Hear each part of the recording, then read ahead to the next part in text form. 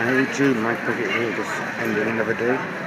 Just little early as I'm going, going home to collect some mail or wait for it to arrive. And as you see, it's rather hazy actually. The air is actually rather oppressive. It needs to rain really. to clear the air a bit. A bit of. But that's everything really. So see you. Bye.